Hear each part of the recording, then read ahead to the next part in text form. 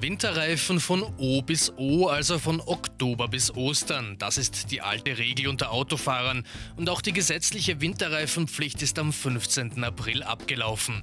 Die meisten haben also schon umgesteckt. Vor allem im Flachland sind viele Autos schon mit Sommerreifen bestückt. Was also tun, wenn der Winter wie jetzt gerade überraschend zurückkehrt?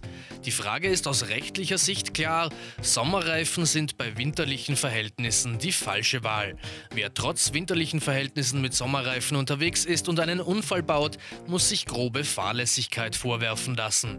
Das gibt nicht nur Probleme mit der Versicherung, sondern auch hohe Strafen.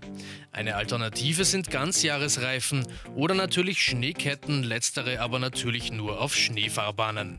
Ansonsten ist man bei diesem Wetter und Sommerreifen am Auto nur dann auf der sicheren Seite, wenn man den fahrbaren Untersatz stehen lässt.